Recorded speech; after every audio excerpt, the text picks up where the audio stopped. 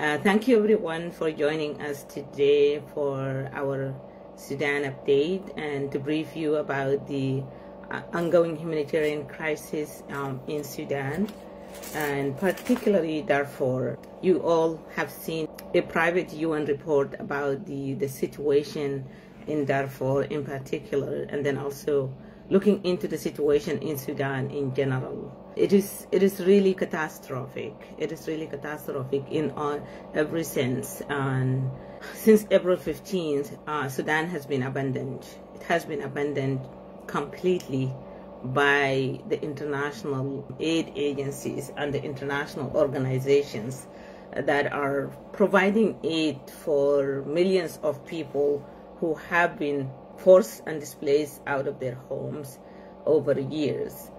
Uh, for the first time for Sudan to be this isolated. And it is really dangerous to have this kind of isolation since the beginning of the crisis. As you know, uh, on April 15th, uh, the fight broke between two generals, uh, Abdel Fattah al-Burhan and Mohammed Hamdan Dagalo, uh, both of whom are, um, I think, two faces on the of the same coin uh, because they have been working part and parcel until April 15 when they decided to disagree among themselves and, and, and put the entire people of Sudan hostage to their own interest. And since then, the situation continued to escalate. The fighting broke in Khartoum quickly. The fight broke in Marawi, but quickly they put it off and then completely moved it into Darfur and, and Khartoum has suffered the most. The areas that have suffered the most are Khartoum as a capital and Darfur region, the greater Darfur region, which is currently under the Rapid Support Forces completely. We all know that the UN has declared that 25 million people are currently in urgent need of humanitarian assistance and protection. Unfortunately, there is no protection in place. There is no humanitarian aid in place. And this is a really conservative estimate. Why nobody has been able to go into Sudan and conduct an accurate uh, or reliable assessment to understand exactly the number.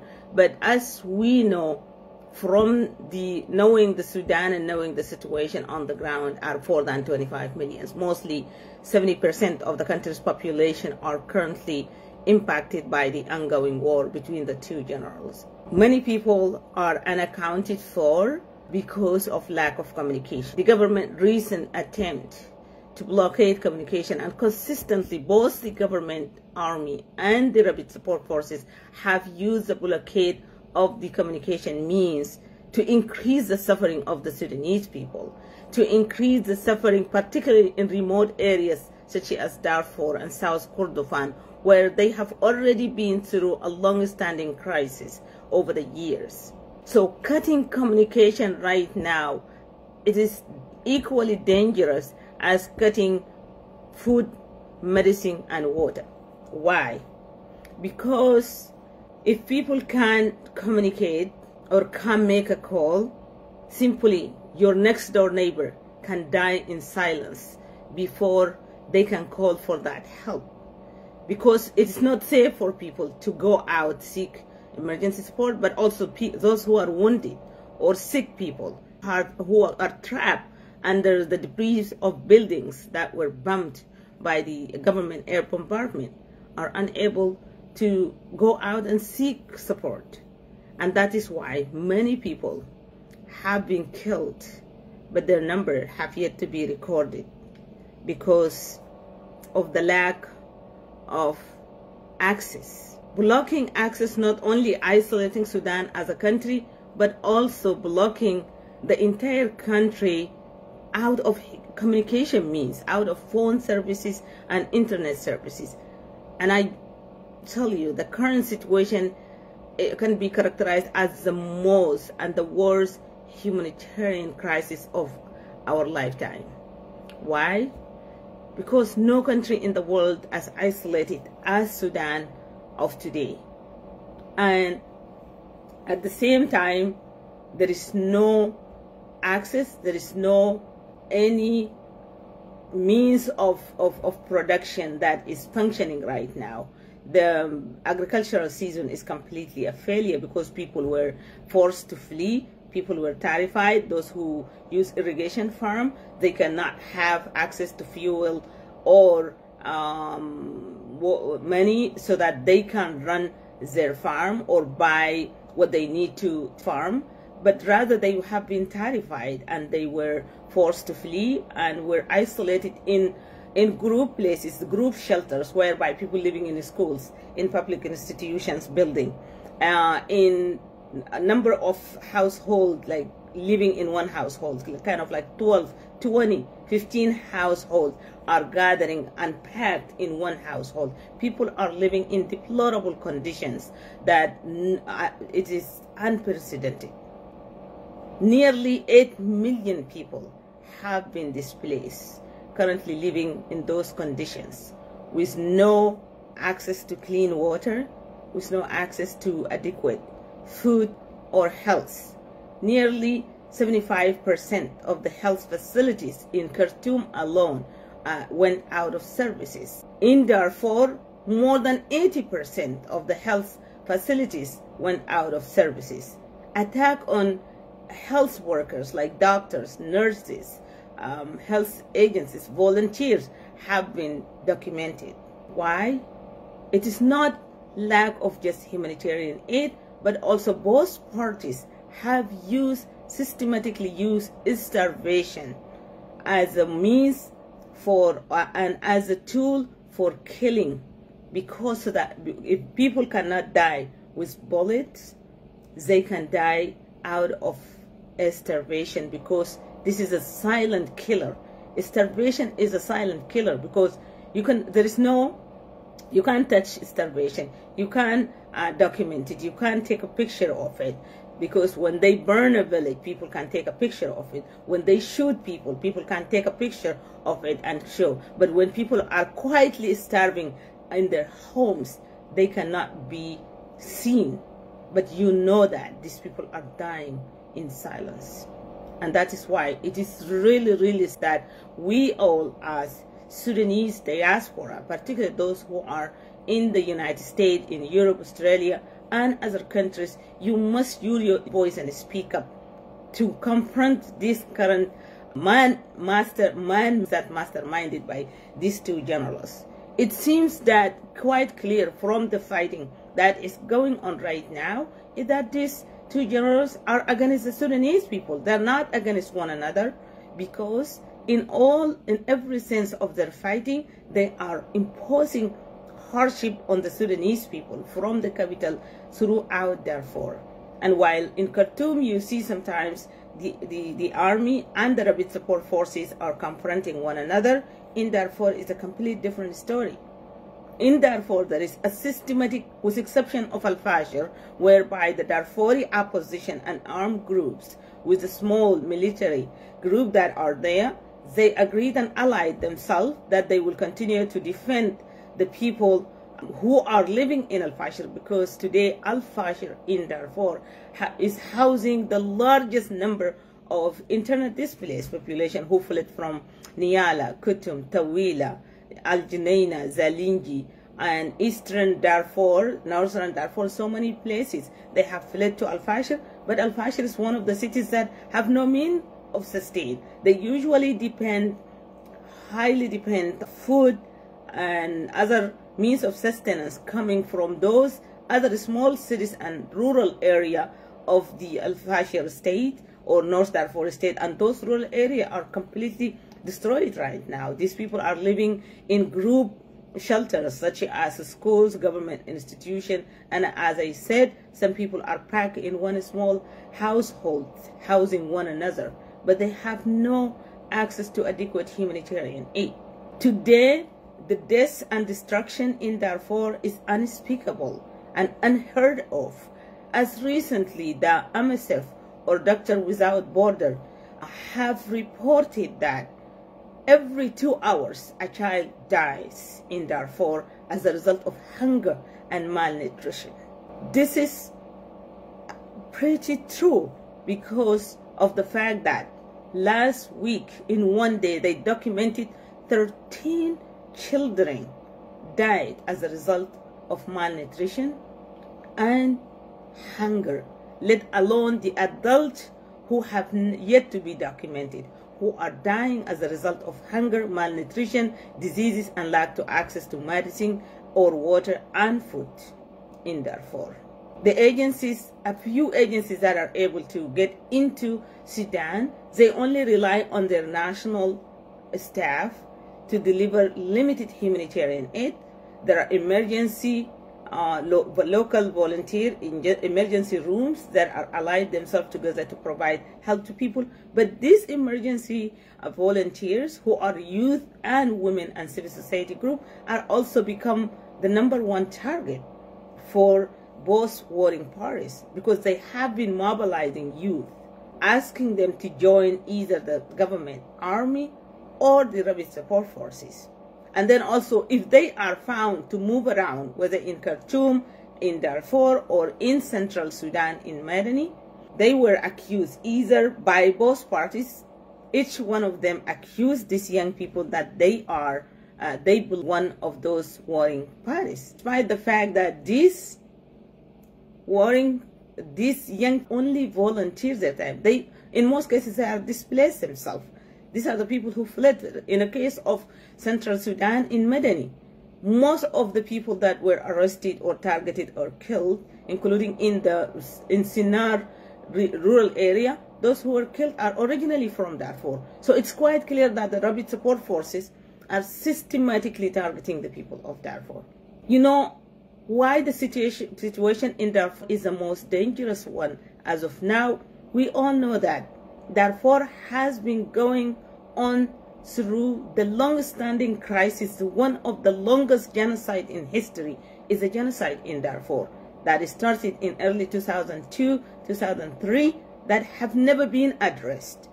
It has never been addressed. Three million people who have been forced and driven out of their homes, they continue to live in the internally displaced camps. Today, Darfur House, before the war erupted in April, on April 15th, Darfur used to house 122 internet displaced camps around suburbs of the cities and large uh, city council or villages. Those internet displaced camps, they were under attack again and again repeatedly during the current war in Sudan. So people have nowhere to go today in Darfur. A few people who are from West Darfur, nearly like seven 150,000 who cross border to Chad are mostly from West Darfur and from the side of North Darfur that are closer to Chad. Were able to flee because there is a short distance whereby people can go on foot or they can um, the horses donkeys and, and other means of mostly people have to walk miles and miles to go there. But this is not the option for people from central Darfur, from far north Darfur, from eastern Darfur. Most of these people are trapped. They have nowhere to go. In addition to that, then now the people who have been displaced by the current uh, war that started last year. Now this war has entered into its 11 month and we don't see any sign of war, that war is going to end anytime soon. So the people of Darfur suffering has been doubled and tripled because many people have been displaced more than 100 times again and again. These people have no inner energy now to run away. They just resorted to staying and either face their fate either by die, they have only two options, unfortunately. They can either die by bullets or die by starvation, trauma, and lack of medical assistance. This is really dangerous. For the people of Darfur, I think and the, situ the, the systemic attack, as I said, the difference between the attack in Khartoum and the attack in Darfur is completely different, whereby in Darfur, the attack is very systematic is directed toward specific ethnic groups who have been for a long time singled out to be killed back in 2003 who have been fallen victim to the, the first genocide in the 21st century that was recorded in Darfur. And these people remain under attack because they were unable to return home for the fact that their attackers have not been held accountable or be uh, not being um, held accountable or apprehended. Bashir, Ahmed Haroun, Abdul Rahim Hussein, and Ali Kosheb were indicted by the International Criminal Court. Only Ali Kosheb surrendered to the International Criminal Court, which he faced trial, and hopefully his case will be, um, the verdict will be delivered sometime um, uh, soon by the ICC. Unfortunately, the three of them who have led and orchestrated and masterminded the most horrific attack against the people of Darfur, they are still um, at large, running and, um, and, and invading justice. Because of the fact that they are not held accountable and because of the immunity, today Al Burhan and Mohammed Dagalo, they think they can continue to kill the people of Sudan. But as long as they can hold onto their weapon, they hold into the money and the power that they will continue to kill, rape, displace, and destroy the people and the Sudan and Darfur, and that they not be held accountable. Let me tell you, make no mistake, genocide, war crimes, and crimes against humanity have no, there is no such crime. These are serious international crimes, and no matter what, there is no immunity. But unfortunately, today the situation is urgent than what we think. It is really urgent. What needed right now, it is important that uh, the, the, the, the international extended its jurisdiction and currently actively investigating this, the crisis in Darfur as a genocide that took place in Al Junaina and other places that have not been documented uh, precisely the way it was documented in West Darfur, but it is still a genocide. The pattern that repeated the 2003 uh, genocide attack patterns, but they are even worse because in 2003, the people who have been under attack were able to flee to the large cities such as Al Junaina, Dalinji, Al Dien, Al Fashir, Nyala, right now, those cities, with exception of Al-Fashir, those cities are now under attack. And those camps where these internal displaced people have taken a refuge for protection and access to humanitarian aid is completely destroyed. Right now, there is no camps remain with exception of a few camps that are remain in place. Many more camps have been wiped out, like in West Darfur. So the situation right now is calling for our attention. Those of you who are in the Sudanese diaspora, the supporters of Sudan and the supporters of Darfur, the Friends of Darfur Women Action Group. It is really urgent that we speak up. The international community is clearly indifferent to the crisis in Sudan. But we can change this because we must speak up and call the attention of our leader that in the face of brutality and mass killing, they must not look the other way. In the face of genocide, must not look the other way. I have a great news, as many of you may have learned, that recently, two, three, two days ago, actually, a bipartisan Senate leaders within the U.S. Senate have endorsed a resolution that recognized the situation in Darfur as a genocide. And they emphasize precisely that the genocide in Darfur persisted and even repeated is because the genocide that taken place in 2003 was not fully addressed and was led to continue and that is why they now called for the American leadership for the Biden administration that they must take a leadership to bring a bilateral international community or international leaders to end and hold those perpetrated the crimes accountable. They also called for the U.S. to increase funding for Sudan with special emphasis on Darfur and including supporting the locally led civil society, community-based organization, volunteer groups with provision of flexible funding that can aid this group to continue to support their people. But this is not a replacement for the international aid. They also called for an unhindered access to humanitarian aid. They called for an intervention that can protect civilians and open safe zones for humanitarian actors to operate in Darfur. And I think this is a really um, a great milestone in our fight to end the genocide in Darfur. But we have to seize this opportunity. We have to use it before it is too late. Ladies and gentlemen, I urge you and appeal to you, now that the Senate has spoken, and showed the people of Darfur and the people of Sudan that they are not alone. We must seize this opportunity to make our voice heard. We must call on the U.S. government and the international community that they must take an action that will effectively end the genocide in Darfur.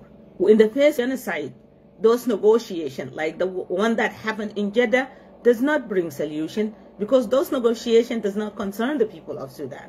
Those negotiations concern only concern the generals. It focuses on the generals. Did we see any serious step or tangible result from the Jeddah negotiation? No. There is also a large mobilization of a civilian group that they are seeking to come together to, to, to, to a civil government. It is great. However, the way the civilians are heading it, they are not looking into addressing the urgency of the situation that currently we see. They do not take action that address the current situation with the sense of urgency it requires. They are meeting on WhatsApps, they are meeting on conference calls, they are talking, they are moving from different capitals as if nothing happening in Sudan. They have to have that sense of urgency. They must have that sense of urgency because unless you address the urgency, keep people alive, you cannot create a government or civilian government? What are the tools? What are the leverage when these two warring parties are let free to get weapons supplied from regional actors, such as United Arab Emirates, Iran, Libya, and so many other countries. Al-Burhan has his allies in the region and internationally, and Dagalo has their allies in the region and internationally. So this civilians group are sitting with them, talking to them, but they have no leverage. They can't exercise pressure because their approach is wrong. We must all agree that the situation in Sudan, especially a situation where genocide is involved, you cannot use a traditional conflict resolution tools to resolve a genocide. You know, genociders have never negotiated peace. Had Hitler given the chance to negotiate peace, there will not be Jew left and as of today. But luckily the international community, even though they failed to protect them immediately, later on they have taken an approach that was first prioritized accountability. Then they stipulated the genocide um, convention and put in place measures that never in the world in Germany, nobody will be killed because of who they are. So we must follow through the same. In the case of Rwanda, when the genocide in Rwanda took place, no one from those leaders who killed the people of Rwanda, who commit genocide against the people of Rwanda, were invited to the table. Their place is in the court. Their place is in not in the negotiating venues. The same thing in Liberia we have seen when Charles Taylor was exiled and then surrendered to the International Criminal Court, that did not just allowed the peace to take its course. It has granted people the opportunity to come together, negotiate peace, and put on terms of how they want to lead their life. How are they going to conduct their life moving forward and how they are going to create a safe environment for everyone to be recognized, their plight to be recognized, and then they can have um, justice in place, they have peace in place, giving people the right to go back to their land of origin, and then they, after that, they can elect their government. This has given the Liberian people an opportunity not only to bring peace, but to elect a first woman president. That would not have happened if the juntas were given the chance to negotiate peace. Why Sudan is an exception? Because, you know what? You, the Sudanese people, have failed to understand the reality and the truth of our issues. The issue of Sudan is not a conflict, simply as people always put it is not a civil war as some have been propagating. It is a systematic atrocities by the powerful against those who do not have power. And in most instances, like in Darfur, in the Nuba, and back in South Sudan even, people were killed because of who they are. They are targeted because of their skin color, because of the ethnicity that they represent because of being indigenous African in their land. And you know what? When the case is like this, when there is a genocide involved, the, it requires an approach. You can tell me, ask me what that means. When there is an atrocity, you, you all know that in 2002, the United Nations Security Council has adopted that responsibility to protect doctrine, it's not because of just politics. They realize that there are some instances that require an immediate and urgent intervention to halt it. When people are helpless and they are being killed with no reason, the international community is obligated. International community is obligated. But let me tell you, sometimes you think you can sit and complain and then the international community will like you enough to pick the fight on your behalf. No, it requires dedicated advocacy, dedicated uh, mobilization to create global outrage, to create a global movement and global call for the international community, for the member state of the Security Council, for leaders like the U.S. government leaders, for all the uh, regional actors to hold to meet their obligation. You, we must speak to them. If we speak them to them in one voice, demanding that this approach does not work. The approach that they use for resolving the crisis in Sudan did not work. How many peace agreement has been signed over the years while people are sitting patiently in camp waiting for just a piece of paper that can be credible and genuine to end their suffering? Never happened. Because what? The government in Khartoum, led by al-Bashir, they know how to join, bring people apart, divide them to continue to conquer and offer them vacancies. They offer them jobs. They do not offer an approach that will address the underlying causes of the systemic marginalization, inequality, injustices that are perpetrated with total immunity. And that is where the problem lies. And right now, the Sudanese leaders are repeating it. Guess what? In 2019, the people of Sudan have come together and unified their voice for once. They said, rejected the military ruling and rejected al-Bashir regime and they toppled al-Bashir. Guess the interim government have given the opportunity to the military to come back again. And what Muhammad Dagalo and Al-Burhan use right now, it is very, very similar to the that is used for the last 30 some years by the regime of al-Bashir. For, for fact, the al has been ousted, but his regime has never gone away. His totalitarian regime is very present, and that is why represented by the two actors currently besieging and putting the people of Sudan hostage and perpetrating death and destruction because they are rebranding their face, rebranding their presenting themselves, coming with different agenda, but it's the same strategy. Kill them all, wipe them out, force them to flee. What does mean if you understand when people are dying, they in they are in humanitarian aid.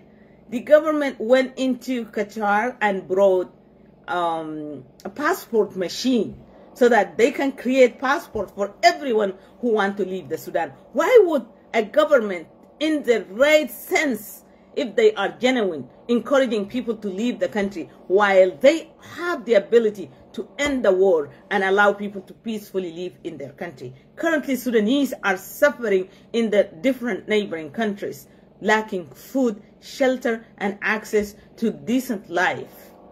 Why? Why on earth did you ever ask yourself? And you're still thinking, sitting patiently waiting, thinking these two generals will be negotiating here and there and bring peace? No, they are not. They are not peace. They are sing war and destruction because they survive in chaos and destruction. Their hands are full of so many and so much blood of the Sudanese people. They cannot bring peace. You have to think for yourself. That is why we advocate that the international community, the US, the African Union must take an atrocity prevention approach, which is start, as I start uh, asked earlier, start by protecting civilians, immediate and robust intervention that will provide civilian protection for those vulnerable and open and unhindered humanitarian access to enable the delivery of humanitarian aid, but also to protect and allow the humanitarian actors to go in without fearing losing their life. And then allow the fact-finding investigation that was just commenced by the, internet, the by the UN Human Rights Council to investigate crimes. Allow ordinary citizens like me and you to document atrocities and be able to document those so that they can seek justice, then accountability will follow. After the accountability, these three steps must be prerequisite to any peace effort. After protecting civilians, enabling unhindered humanitarian access and documentation of the atrocities, then holding those perpetrators the most serious um, atrocities accountable. This will create an enabling environment for peace, whereby those who are oppressed, forced to flee, led to suffer in silence, can be able to have a voice over those venues, put on their agenda for change and for, for resolution of the crisis in Sudan, and particularly the people of Darfur. Today, if there is any negotiation, I don't think anyone from Darfur will be able to participate. Looking at the people in the diaspora, of course, we are from Sudan. Those who are dying are our people, but we do not represent them. This is an oversimplification of nominating ourselves and thinking that we're. Why would we allow there is, this is not the time when people will be sitting, suffering there, and you are taking advantage of them and going negotiating in those venues and bringing and impose peace. Peace will not happen that way. And think when we take this approach, then allow the opportunity for people to negotiate peace within their own terms that they want. Also putting in place a measure that will recognize the plight, especially recognizing the genocide in Darfur, providing psychological and moral recognition, providing access to support for people and enable them to return to their rightful land. Those people who were pushed out of Al into Chad, they must come back to Al to Dar Andoka, to live where their ancestors lived where they were born and raised. There is no one under the Declaration of International Human Rights, no one can strip anyone their right to live in peace or to live in their land or to be who they are. And that should be very step like very quite clearly stipulated in every solution that can be made to the current crisis taking place in Darfur with special in, in Darfur in Sudan, special emphasis on the genocide in Darfur. Enabling people and giving them the right to return to the rightful land, to restore their stolen belongings, and to restore their dignity, whereby they can sit in a court of justice and tell their stories of suffering. That is when a sustainable solution can happen. Some people can say, oh, this is difficult. The international community doesn't care much about Sudan. Who is the international community? We are all the international community. We, the individuals, are the members of the international community. We have to use our voice.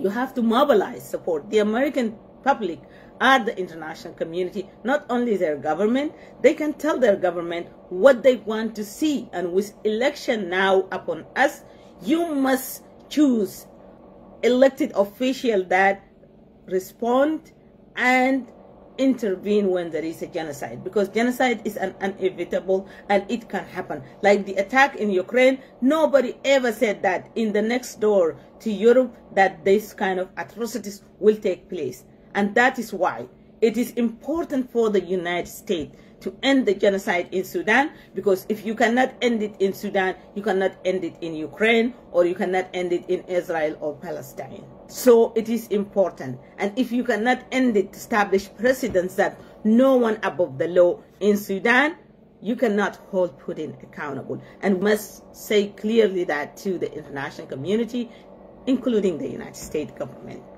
If we can mobilize those of us who are in the US, in Europe, in Africa, in the Middle East, use our voice, talk to our allies, get them out and get them fair, and speak and hold these leaders accountable, we can end this. But if we kept silent, what will happen? The Sudanese people will die in silence. The people and the victims of the Darfur genocide will die in silence. And those perpetrated genocide will never be able to held accountable but we should never let that happen because we are capable of doing that. We are capable. It takes only one voice. It takes only one action. It takes only one step. Do not strip your power and think that those who have the power are those who are nominated or officially given titles. No, you do have more power than what you think. Your voice is your power use your voice, speak up that in the 21st century, this is 2024, we must not condone, complicit, or ignore a genocide or allow it to happen without. So today, I am appalled by the level of suffering that is ongoing right now across the Sudan, particularly in the capital Khartoum. Many people are unable to flee. In South Kordofan recently, attack has been directed to the people of South Kordofan who, like the people of Darfur, have suffered for so long. Many of them who fled are living in caves. They have not yet returned home until this war started. The same thing for the people of Darfur. Can you imagine that a person who stripped away from their belonging, from their land, from everything they have, and they were forced to live in a, a makeshift camp in a desert that lacked no means of sustenance can live in camps for 20 years and you expect them to survive another genocidal attack? This is insane. This is cruel and it is unacceptable. And we must not allow this to happen and to continue to happen. And it is up to us. Please speak up for the people of Darfur. Please speak up for the people of Sudan. And I would like to tell you that the African Union is meeting this week in Addis. We have a letter that is going to African Union to encourage them to take the lead, to intervene to protect civilians, and to open humanitarian corridor. We are also urging the United States to support and work hand in hand with the African Union as a regional organization, even though the complexity across the continent, the African Union is in a better place to help bring peace to Sudan because I don't see Saudi Arabia or United Arab Emirates or any of these Middle Eastern countries that have the interest of the people of Sudan at heart, particularly those of us from Darfur, the people of Darfur who have been out to be killed by the Arab militia because of who they are, because of being indigenous African in their land. Truth be told, they are funding and financing this war and this genocidal machine. The person or the country that is masterminding a genocide, funding the genocidal machine, will never bring solution. You must protest and say no, that our plight will not be negotiated in such country.